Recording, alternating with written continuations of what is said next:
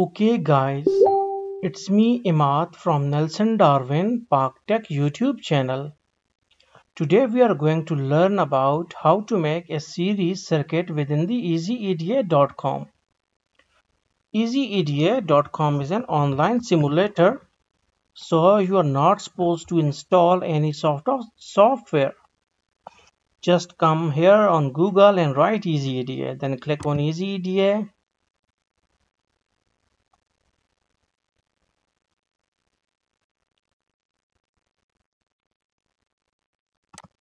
and then click on this online PCB designer. Here you can either you can uh, make a login with your email or you can just go for EasyEDA designer and click here and you will get your main working window. Now here there are two options that is standard mode and change to simulation mode. So click on change to simulation mode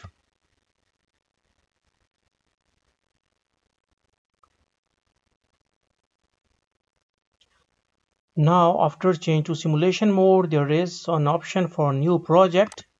Click on it and we will write here series circuit. Click on save and now our main window opens up. Now we need to go for our EE library and here we can get our we can see our resistors so we can place three resistors here also go to zoom and make it a little big like this so that we can see it properly. Like this. Okay connect it like that and that.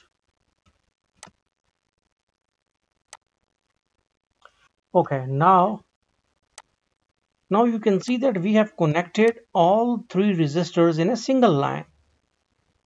In series circuit the current will only have one path. There isn't any sort of multiple paths. So all the components must be within a line. Okay, so we can take our voltage supply and this thing and okay this one and there is a one basic property of the series circuit that it has the same amount of current on every point. So what we can either we need to measure it. Yes if we want to measure we can okay? For it i think that we have we have like uh, have ammeter as an option to measure the current because there isn't any sort of probes here. Or we can search out for probes so no probes at all. So we will go for our ammeter. That is multimeter okay. We need to place one multimeter here and one here okay.